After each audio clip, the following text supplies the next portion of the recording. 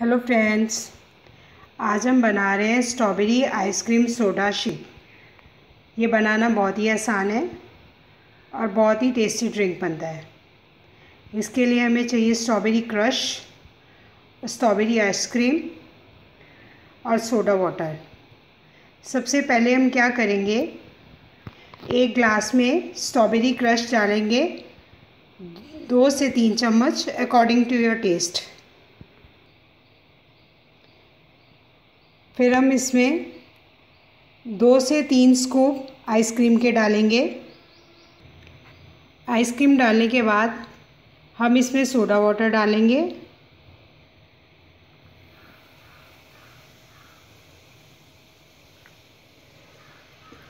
और फिर हम इसको मिक्स कर देंगे।